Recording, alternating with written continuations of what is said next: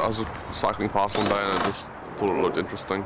So I just came to see what was going on, really. What brought me here?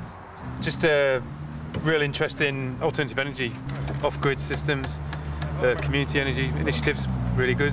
I'm here because uh, I'm planning to build a house one day, an eco build. I've looked into lots of courses and having something like this on my doorstep uh, where I could learn for free was wonderful.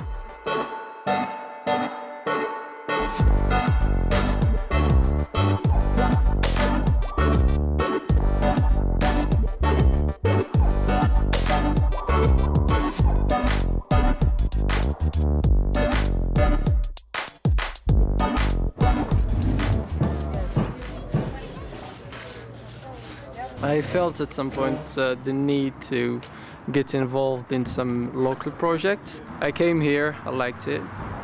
I have been welding, I have been lifting, the things I normally don't do because I'm an office worker. I really love the fact that everyone's getting involved in the building. I also love the little gardening plots, they're so creative. I've not seen anything like that.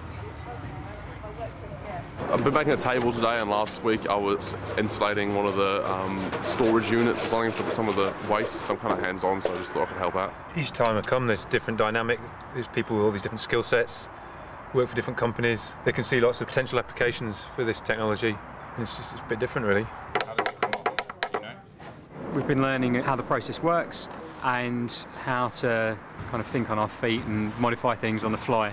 And the system we are using here, I think will help people in Uganda where we have got problems of cutting trees and leaving the soil bare. I also live just down the road in Mile End and uh, have been hoping to get something quite similar going in my neighbourhood because we've got a piece of land. So maybe we'll have some biogas soup one day to spread the idea of what could be possible.